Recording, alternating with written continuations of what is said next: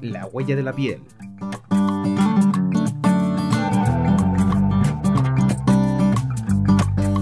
Un podcast de consalud.es con María Velasco.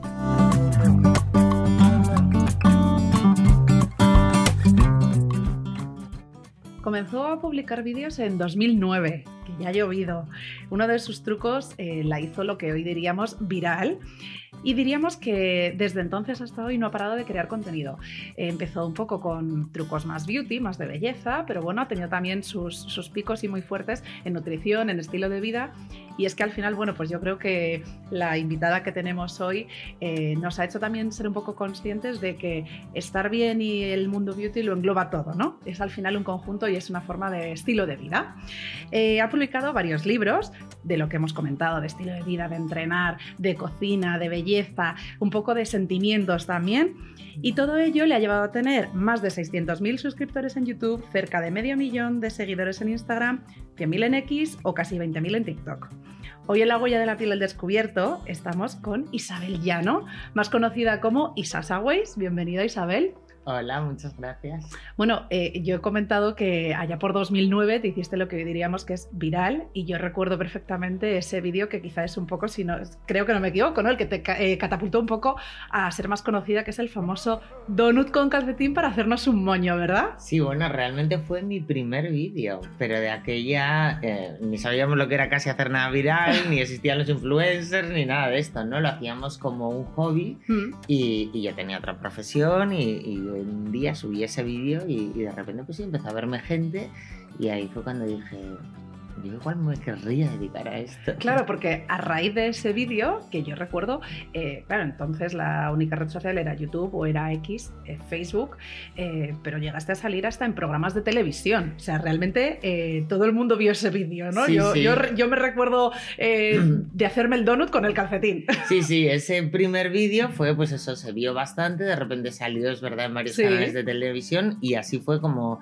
en cuatro meses creé un poco más de contenido y en cuatro meses me, me llamaron para hacer un programa de televisión y ahí fue donde vino el cambio. Claro, porque eh, ¿cómo se presenta esta oportunidad y cómo de repente cambia tu vida? Porque efectivamente tú te dedicabas a otra cosa. Pues efectivamente yo estudié ingeniería informática y era profesora, trabajaba de profesora en un instituto cuando, bueno, como estaba fuera de mi tierra, eh, un día bichando por YouTube vi a una chica maquillándose americana, porque aquí lo hacían cuatro. Sí. Y, mm, y dije yo, jo, eh, tiré un poco el hilo, vi que había eso, cuatro o cinco que lo hacían en España y tal, y dije, esto me gusta, porque, pero no como una profesión ni mucho menos, o sea, Claro. era algo inimaginable, sino como, bueno, compartir tus trucos, además de con tus amigas, de repente con todo el mundo, ¿no? Entonces subí aquel vídeo con una vergüenza terrible, que si lo veis, de verdad, o sea, estoy diciendo, bueno, yo quería contaros una cosa mirando para el suelo, mucha vergüenza, y, mm, y lo publiqué y claro, ahí es donde ves de repente, ¿no? Que llegase mucha gente que te dice, Nisa, me encantó, lo hice, cuéntanos más cosas y eso, pues yo que ya tenía yo como esa semillita de ganas de comunicar y de contar cosas,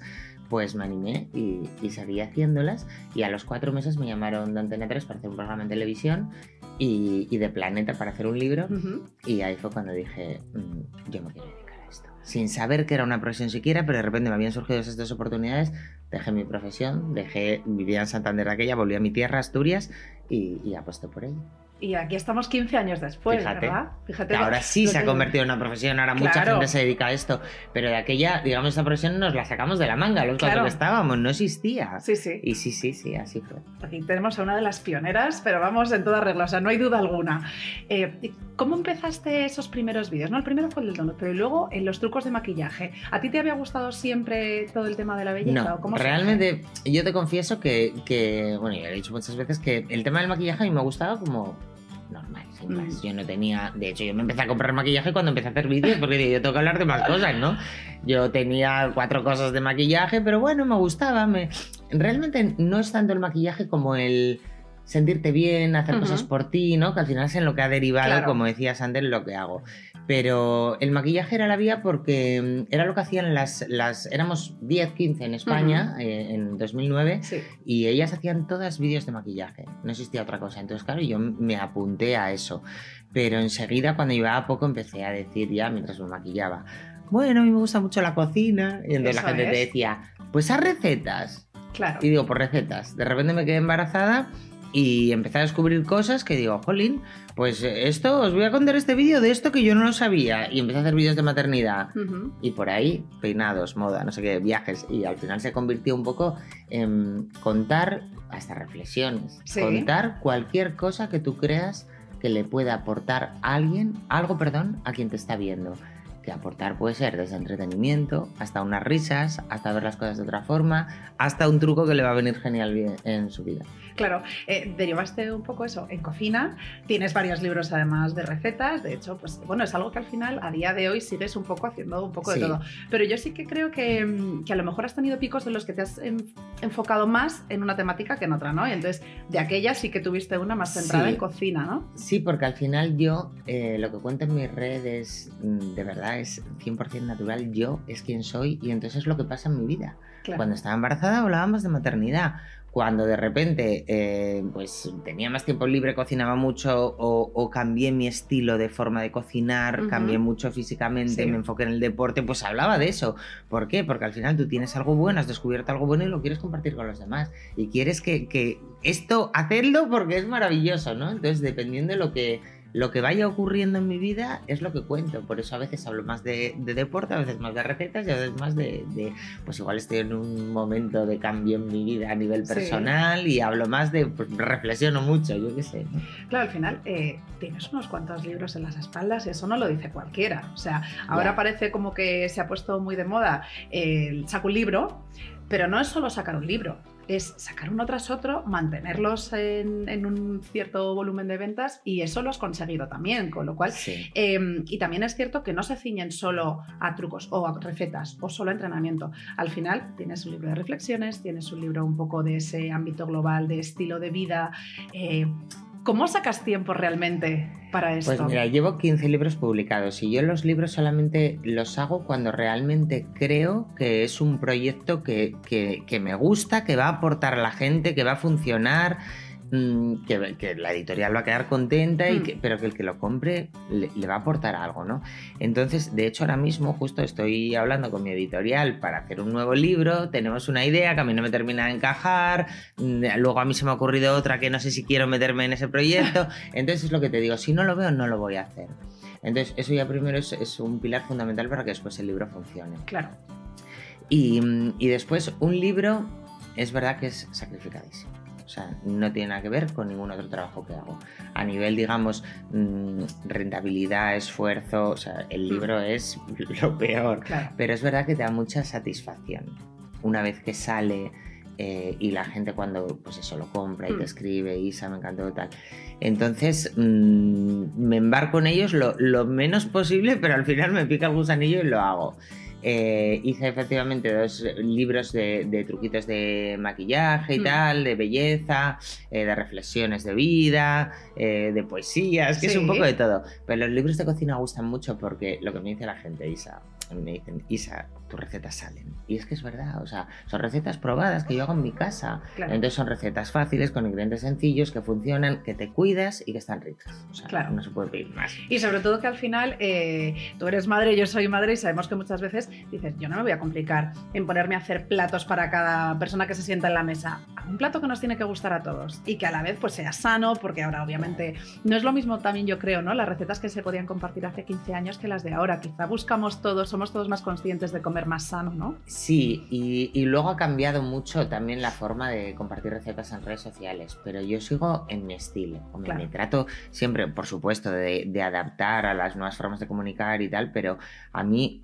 ahora las recetas son, lo decían el otro día unas amigas que solo hacen recetas, me decían, es que ahora todo tiene que llevar queso, tiene que Sí. crujir, tiene, ¿no? Sí. y, y ni te cuentan las recetas, lanzan los ingredientes y ya está, ¿no? Y, y yo no. Yo sigo compartiendo mis recetas, las que funcionan, las que me gustan, pero que están ricas. Y yo cocino, efectivamente. O sea, yo no me pongo ahí al guiso, al chup chup un martes cinco horas, ¿no? Claro. De hecho, he descubierto la vía lenta.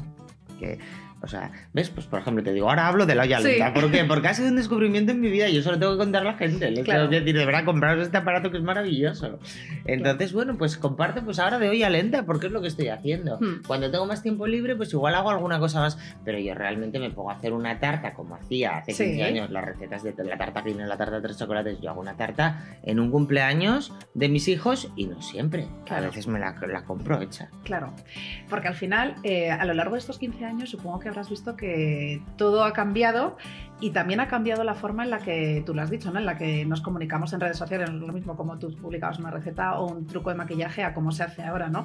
Ahora se ha puesto muy de moda el me arreglo y mientras tanto me voy maquillando y me vas viendo.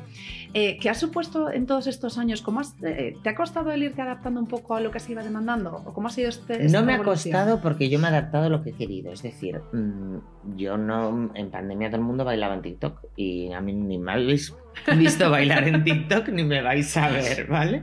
Pero no, no por nada, sino porque primero bailo fatal eh, y, y no es lo mío. Y, yo, yo pienso lo que te decía. Yo subo un vídeo bailando a TikTok y digo, ¿qué aporto yo a nadie con Claro. esto, no? Bueno, igual si es una cosa graciosa, sí, pero sin más.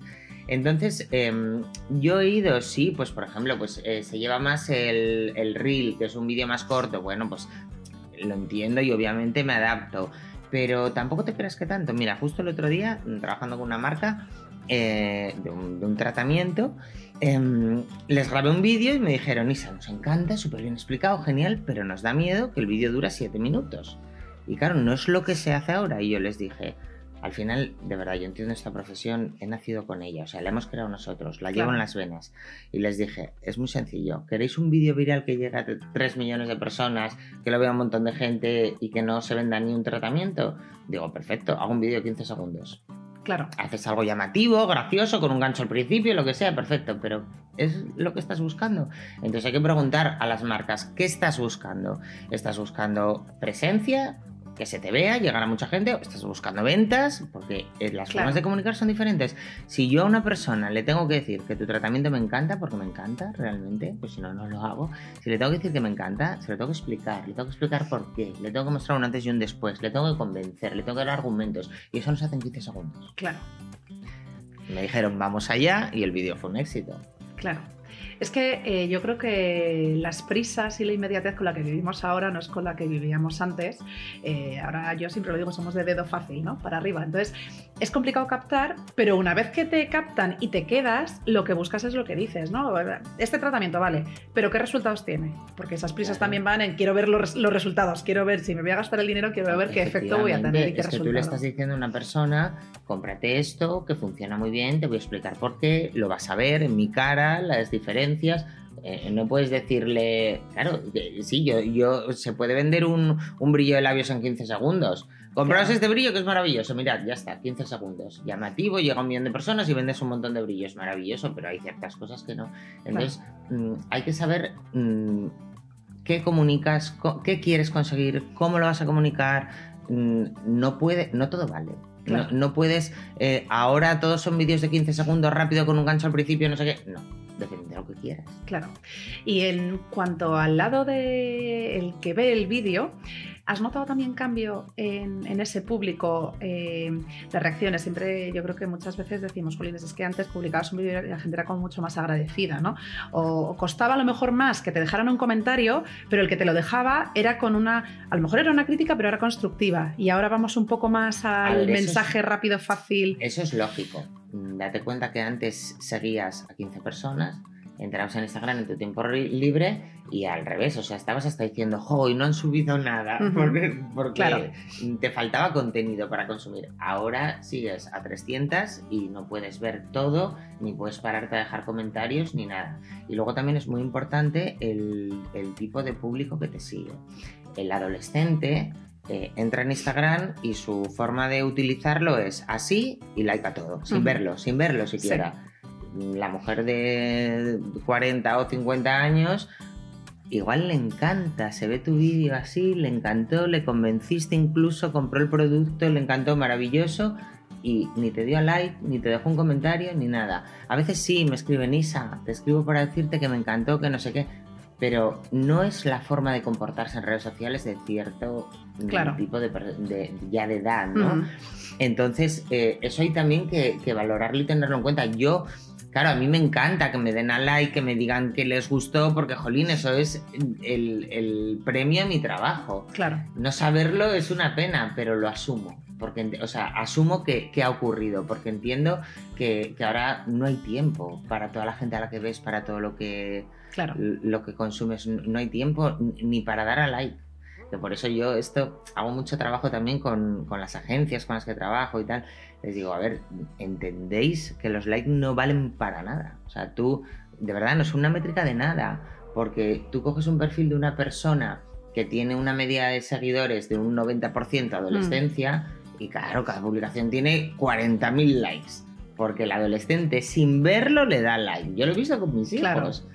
Pero, pero eh, tienes a una persona que tiene un rango de edad de 40, 50 años, igual la publicación tiene mil likes y el vídeo ha encantado y ha funcionado de maravilla. Claro. Bueno, y luego al final que, aunque no te lo demuestre esa métrica, pero ese público sí que tiene la capacidad de ir a un sitio y comprar Claro, el producto. claro, un adolescente no tanto. O Efectivamente. sea, que Y- eso luego también hay que tenerlo en cuenta, ¿no? Claro. Antes las marcas, eh, no sé por qué ha cambiado esto, no, no te decían tanto cómo había funcionado la acción y ahora yo estoy, me decía él, ¿qué tal te va Isa? Y le digo, me, me va súper bien, estoy súper contenta, pero sobre todo porque mm, termino cualquier trabajo y me escriben las marcas, las agencias, Isa, mil gracias, digo, pero que a veces me da hasta pudor porque digo, a ver, me has contratado para hacer un trabajo, me has pagado Claro. por mi trabajo y lo he hecho bien, o sea, ya me lo has agradecido como me lo tienes que agradecer, ¿no? Que es pagando mi trabajo, pero me, me envían audios todavía el otro día un chico, gracias Isa, de verdad, está la marca encantada, no sé qué.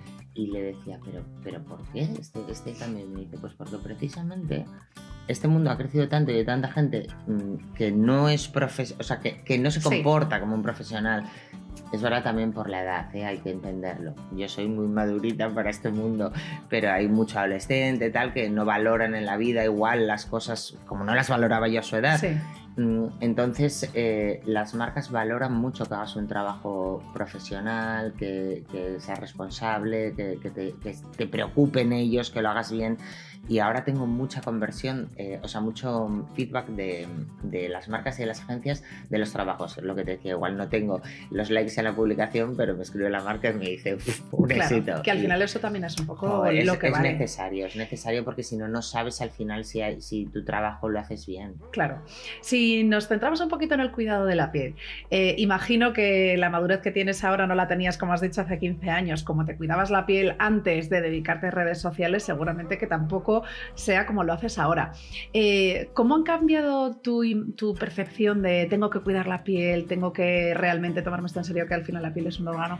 ¿Cómo te cuidas tú a día de hoy? Bueno, a ver, yo siempre eh, tuve una rutina básica y la sigo teniendo básica. Lo que pasa es que es verdad que voy descubriendo productos nuevos y tal y los voy incorporando, ¿no?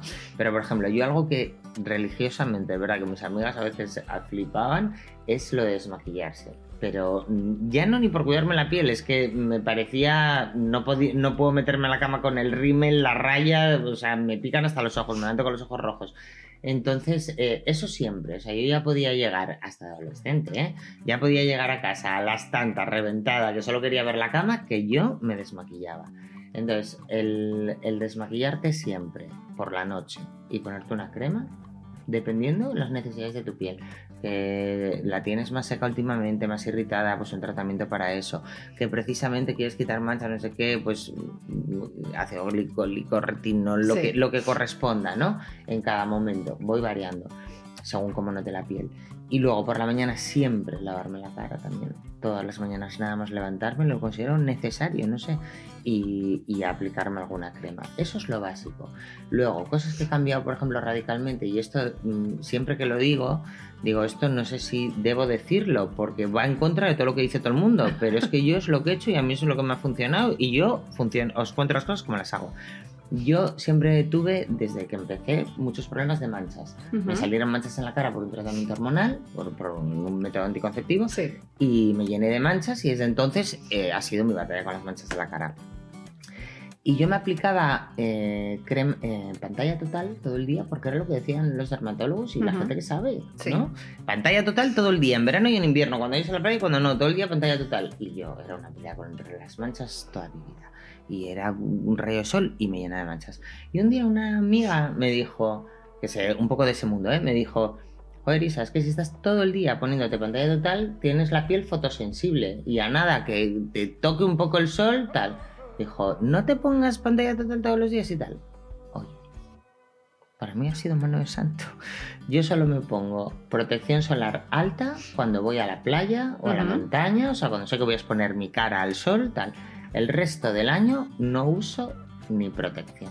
Claro, también es cierto que ahí los dermatólogos eh, lo que dicen también es un poco con coherencia y con sensatez. Claro, tú vives en el norte y no es lo mismo que si vives en Canarias. Entonces, Claro. claro. es que todas estas cosas también hay que tenerlas en cuenta porque hay mucha gente, yo creo que precisamente no ven cosas en redes sociales y las llevan a rajatabla. O yo oigo hablar de retinol y ves que con 20 años está plantando retinol porque lo ha escuchado. Ya. Ojo, Ya. o sea, Claro. cógelo, pero también un poco adaptado. Entonces, yo creo que en esto también es un poco lo mismo, ¿no? Puede ser, efectivamente. Mira, eso tampoco lo había pensado así, pero bueno, al final eh, en Asturias tenemos muchos días de Sí, sol, ¿eh? que parece sí, que sí. no, porque tenemos muy mala prensa, pero, pero es verdad que, que hay muchos días de sol. Yo me paso el verano entero sin ponerme protección en la cara, que no digo, por Dios, de verdad, siempre además cuando he contado esto, que lo he contado pocas veces, siempre digo que no digo que sea así, que todos los expertos dicen que hay que ponerlo.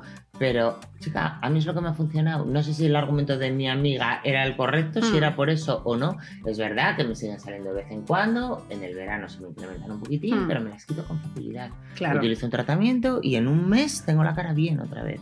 Es que al final cada uno, o sea, la piel es un órgano. Entonces lo que, lo que todo el mundo tiene que ser consciente es de que lo que te puede funcionar a ti, a mí puede que no, por o al supuesto. revés, ¿verdad? y luego influyen muchas otras cosas. Es decir, eh, vale, yo hago lo de la crema igual que esta persona. Pero chico, te alimentas igual. Claro. Eh, Haces el mismo mm, ejercicio. Haces el mismo deporte, bebes el mismo agua. Entonces, claro, mm, no, te, no, no es igual, no son las mismas Claro. condiciones. Entonces, esto igual a mí me funciona muy bien con mis condiciones y a Claro, ti no. eso es. En cualquier caso, yo, mm, la gente que me sigue, desde hace muchísimos años. Yo creo que ya sabéis de quién vienen las cosas y cómo vienen. ¿no? Eso es. Entonces, al final, eh, antes sí me esforzaba mucho en esto es lo que me funciona a mí, pero ahora ya se, ya se entiende y se Claro. asume. Es verdad que también hay que tener un poco de, de cuidado, pero claro, yo soy muy sensata en lo que digo. Al final, en redes sociales ves cada cosa que caes para atrás, pero no se me ocurre decir cosas. Fíjate, esto puede ser lo más atrevido que he dicho en mi vida, que es lo de la protección solar. El resto de las cosas yo, bueno, pues voy diciendo, pues he probado esto, me ha funcionado. Hmm. Claro, al final, eh, a mí lo que sí que me llama la atención, ¿no? Cuando tú has dicho antes que cada vez hay perfiles más jóvenes que se convierten de repente en influencers y demás, y, y ya no solo es porque a lo mejor eh, de repente te hablan un día de un tratamiento y el resto de su perfil no tiene nada que ver, con lo cual ahí ya quizá dices, pues no sé si esta es la fuente de la que tengo que informarme, pero aparte cuando a lo mejor te hablan incluso de productos que dices, si no lo necesitas, es decir, a lo mejor una chica de veintipocos años no me puede estar hablando de un cuidado para Claro, las estrías claro. o para las arrugas o para cosas que no tiene, ¿verdad? Claro, y eso yo creo que es también lo que me da la credibilidad a mí y, y- y, bueno, la estabilidad y, y la confianza que tiene la gente en mí, porque yo hago eso. O sea, a mí me dicen, Isa, un tratamiento para la celulitis. Y yo les digo, es que no tengo. Y tengo esa suerte, no tengo. Entonces, no te puedo hablar de un tratamiento Claro. para la celulitis. Te puedo decir, mira, esta marca, que he probado otras cosas de ella, que me parece muy buen laboratorio, que funciona muy bien, ¿qué tal? Tiene un tratamiento para la celulitis, pero yo no te voy a contar Claro. eh, cómo va. O productos para el pelo rizado, lo tengo liso, o sea, no Claro. puedo hablarte de productos para el pelo rizado. Pues yo eso siempre lo he hecho a mí, mm, o, o bueno, o cuando perdí tanto peso, marcas que me escribían eh, de adelgazamiento, Claro. di que lo has perdido con nosotros. Digo, pero, Es que no es así que me lo he currado. o sea, por favor, Claro. no. Entonces yo eso nunca lo he hecho, nunca he hablado de algo de lo que no puedo hablar, que yo no he probado en mí Hmm. misma, que a mí no me ha funcionado. Y eso al final también pone un poco en valor eh, a, la marca, que al final vosotras también sois marca. Eh, ¿Hay algún tratamiento que digas, pues mira, eh, este es mi tratamiento favorito de los favoritos para cuidarme y, y a mí me funciona, me va bien y me encanta? Mm, No por una razón. Yo no puedo ser fiel a nada. Porque al final bueno, no puedo ser fiel a nada. Sí soy fiel, por ejemplo, ahora estoy con un tratamiento antimanchas que llevo tiempo, de una Ujú. casa, que me ha ido muy bien y lo he hablado y, jolín, de momento quiero seguir siendo fiel porque me Claro. va muy bien. Pero ¿qué ocurre? Que yo no puedo estar siempre con la misma crema, con el mismo contorno de ojos, con- porque entonces no, no hablo de marcas, no hablo de otras cosas, no descubro cosas nuevas. Claro. Para empezar, eh, la ciencia avanza, salen cosas nuevas, productos nuevos con nuevas tecnologías, entonces mm, me quedaría anclada en el pasado si, ¿no? Claro. Por ejemplo, ahora uso una crema antimanchas y hay gente que me dice, pero a ti no te las había quitado no sé qué crema. Y digo, claro, hace 15 años. Claro. Hace 15 años era esa, ahora he probado esta y ahora es esta. ¿no? Es, es mi trabajo, tengo que ir probando cosas nuevas. Entonces, a veces, sí que a veces, mm, yo qué sé, pues por ejemplo, llevo con una base de maquillaje bastante tiempo, y, pero es verdad que ahora cada vez que la saco en un vídeo digo, la base que os recomiendo siempre y pienso para mí, tienes que empezar a probar otras, porque entonces Ya. es que es, ya, ya la compraron todos, ya la Claro. tienen, ya la han probado, hay que probar cosas nuevas. ¿Y alguna vez eh, algo que a lo mejor te hayas hecho, algo que hayas probado, que hayas dicho, esto me va fatal y esto lo siento, pero nunca más? A ver, sí hice una cosa, pero fue antes de dedicarme a esto, eh, que fue cuando empecé a pelear con las manchas, justo, pues igual un par de años antes de dedicarme a esto. Eh, la dermatóloga me aconsejó un tratamiento de farmacia para quitarme las manchas y aquello fue, o sea, se me puso la cara rojísima, se me rotó toda, se me peló. Es verdad que luego, con el tiempo, he probado otros que también me han pelado la cara y tal, porque es parte del proceso, pero de otra forma. Aquello fue, o sea, recuerdo la marca y recuerdo todo, pero tampoco lo voy a decir, porque hay gente que me ha dicho que le ha ido bien, ¿eh? pero a mí mm, aquello fue terrible. Me puso la cara un pandero. Tremenda, ¿no? Mm. Y para acompañar al final el estado de la piel, lo que hemos dicho, ¿no? Importa también cómo te alimentas, y en eso tú eres muy consciente, e importa también un estilo de vida saludable, el dormir y el hacer ejercicio. Y de eso, eh, como hemos dado una pincelada al principio, tú hace unos años cambiaste radicalmente eh, y, y- y empezaste a introducir pues, el deporte en tu vida, ¿no? ¿Cómo fue ese cambio? Pues fue revelador y es lo mejor de lo mejor que he hecho en mi vida y por eso yo intento meter a todo el mundo por el deporte. Yo era, bueno, de cría hacía deporte, jugaba baloncesto, hacía no sé qué, pero sin más. Y luego en la época de la adolescencia, la carrera, con los estudios, Mm. todo eso, dejé el deporte totalmente. Empezó a picarme la curiosidad con el tema del running cuando se puso tan de moda hace 15 años. Y yo veía a la gente correr y les veía como que mm, un enganche, como los que tienen los que hacen surf Sí. o escalada, ¿no? Un enganche que yo decía, aquí hay algo que yo no he descubierto. Yo salía a correr, volvía para casa reventada con el corazón desbocado y yo decía, esto no es para mí. Y, y fue bueno, fue a raíz de cuando me separé. Al final el deporte es terapia, porque lo es, sobre todo para la cabeza es Hmm. maravilloso. eh, que fue cuando dije yo, en este momento de mi vida me vendría bien algo que me viniera bien para la cabeza y para todo. Y entonces empecé a intentarlo y empecé a encontrar sensaciones que nunca había tenido. Y empecé a sentar, a, pensar, esto es lo que siente la gente que está enganchada al deporte. Y entonces mm, continué con el correr, yo iba al gimnasio yo solo a hacer mis rutinas que me parecían aburridísimas y ahí me empecé a apuntar a clases, a bodypan, a ciclo, el efecto grupo hace mucho, el, el tener a un profesor, música, tal, no sé qué. Yo soy de deporte a primera hora de la mañana, que hay gente que es de por la noche, y yo Hmm. soy de por la mañana porque a mí me pone las pilas y lo que digo a veces, digo, yo no me levanto a las 5 de la mañana y digo, ¡Hala, qué guay! Ahora levantar pesas, me apetece mogollón. No, yo soy humana igual que tú y yo digo, anda que tienes una moral irte ahora al gimnasio, pero yo voy porque siempre me recuerdo cómo me siento cuando salgo. Y eso no me pasa a mí, le pasa a todo el mundo. Yo entro al gimnasio a las 7 y pico de la mañana todos los días y todos, hola, buenos días, tal, estamos así, venga, vale, allá vamos, tal, venga, ánimo, qué frío, oye, vaya día, sí. Y salimos del gimnasio, venga chicos, hola, buen día. Salimos con las endorfinas a tope, felices, nos vamos directos al trabajo con la cabeza que nos bulle. Es una pasada lo que hace el deporte por ti. Entonces, mira, justo ayer estuve con una amiga que ha bajado un montón de peso, está guapísima, pero sobre todo está feliz. Y, me- y es porque empezado a hacer deporte y me decía, Isa, mm, soy otra persona, me ha cambiado la vida. Es que te cambia la vida. Claro, y que además no puedes pretender conseguir solo con cosmética lo que sabemos todos que necesitas que sea de un total. Al final es un estado de bienestar completo, ¿no? Sobre todo te tienes que sentir bien tú. Eso Claro. es fundamental. Porque si tú te maquillas, por guapa que te pongas, y estás triste, esa piel está apagada. Claro. es- tu mirada está apagada, da igual lo que te pongas. Y el deporte te da felicidad. Y el cuidarte te da felicidad.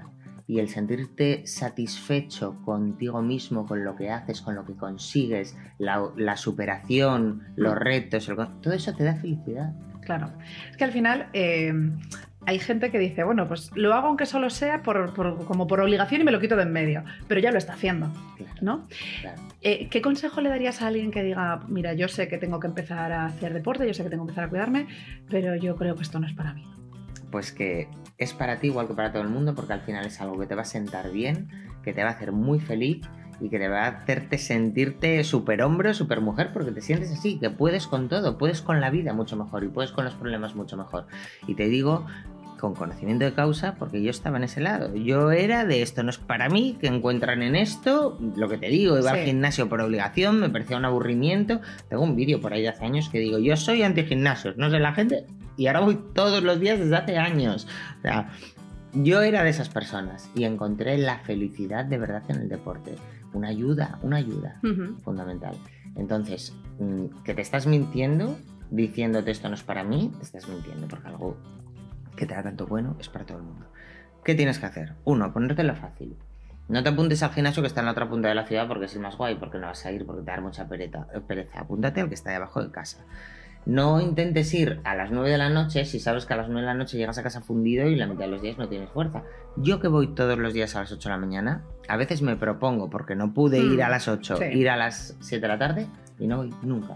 Habré ido un día de, de 100 que me lo he propuesto. Porque no tengo fuerza de voluntad a esas horas, porque yo voy decayendo. Claro. Entonces, póntelo fácil, vete al que esté cerca, vete a la hora que mejor te cuadre, que puedas ir tranquilo. Eh, ponte eh, la ropa, la, está preparada, todo ya para, para ir. Y si no, intenta dar el primer paso, que eso es lo que hago yo, por ejemplo, para ir a correr. A mí, correr es el deporte que más me aporta mentalmente. Me siento, vamos, que me como el mundo cuando acabo de correr. Ahora sé más pereza me da. O sea, me, tengo que, empujar a salir a correr, porque me parece muy sacrificado.